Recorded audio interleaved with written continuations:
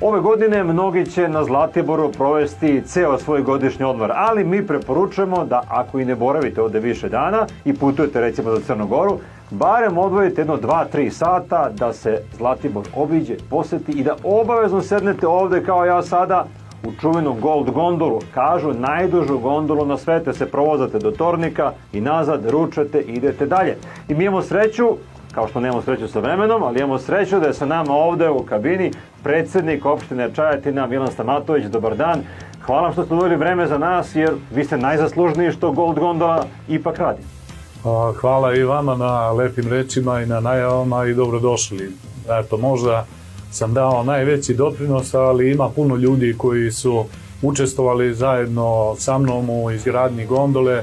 Prevazišla je sve one dosadašnje projekte i ja se nadam da će biti zaštitni znak Srbije. Tako da je Zlatibor jedinstven po svojoj ponudi, po prirodnim resursima, po mogućnostima da šetate, evo ovde sada vidite gondolom kada se provozamo kako izgleda Zlatibor, da ni ne stoji ona priča da je Zlatibor preizgrađen. Upravo to je glavni izvor kritika upravo Zlatibora gradi se, gradi se, gradi se, kaže da se to postoje grad za sebe, da je sve suviše urbanizovano. Kako vi odgovarate to? E, teritorija opštine Čajetina pokriva 647 kvadratnih kilometara, samo 1,4 odsto teritorije pod građevinskim objektima.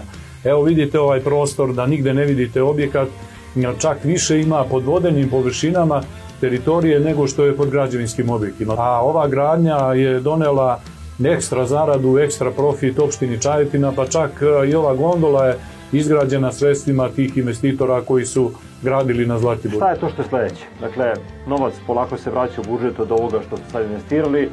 Koji je sledeći veliki projekat?